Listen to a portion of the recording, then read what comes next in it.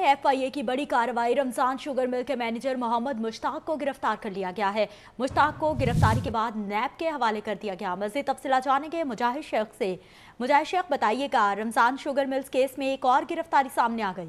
ہاں جی بالکل رمضان sugar mill کے جو مینیجر ہیں، محمد مشتاق، ان کا نام آلریڈی جو ہے ای سی ایل میں تھا اور یہ دبئی کے لیے جانا چاہ رہے تھے، تو انہیں ایف آئی اے نے گرفتار کیا ہے محمد مشتاق کو، جو رمضان شوگر مل کے مینیجر ہیں۔